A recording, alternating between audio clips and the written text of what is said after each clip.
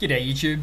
I've recently thrown up a video on how to install the latest NVIDIA drivers for Ubuntu, but uh, it has seemed to miss a few eyeballs in terms of Linux Mint 17.2, so I'm going to get into that now with you guys.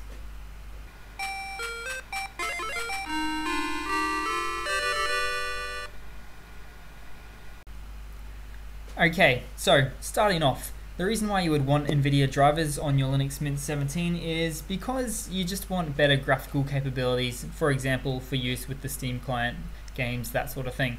So to get into it, it's pretty much the same process as it is in Ubuntu, but all you need to do is go to the Start menu, click on Drivers, type that in, Driver Manager, click there, throw in your password, now we'll start loading up the drivers, so it might take a few seconds to do it, so just give it a moment there. And once it is loaded in, there will be the option, or first of all, you'll see what you're actually set on, which is the Xserver Xorg driver, as you can see there. And up the very top, you'll see the latest and greatest NVIDIA 352 driver, also recommended, as you can see. Just click on that, apply changes, and let that load. Now that will take a few minutes to load sometimes, but uh, when it's done, there's a really handy nifty feature about this, which is the NVIDIA console panel, which is just down here. Click on that, NVIDIA settings, so we call it the NVIDIA Xserver settings.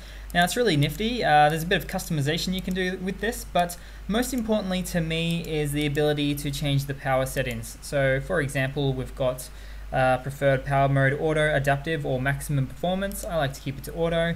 And last but not least, there's a real cool option here to actually turn on or turn off your NVIDIA uh, graphics card or just stick with the Intel CPU. For the moment, I'm sticking with the Intel CPU because I've got some real issues with overheating, as you can see right there, 91 degrees, not great.